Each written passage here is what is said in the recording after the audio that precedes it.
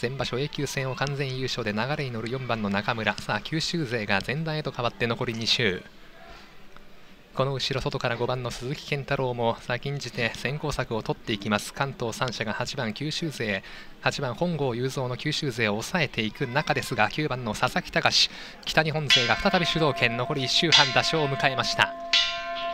9番佐々木隆の主導権と再び変わって4番手5番の鈴木健太郎関東の3人そして7番手8番の本郷雄三です。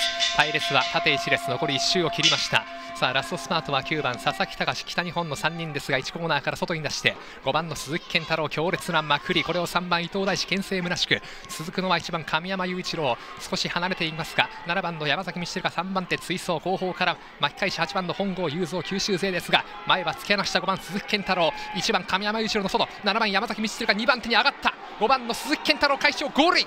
7番山崎道輝2着。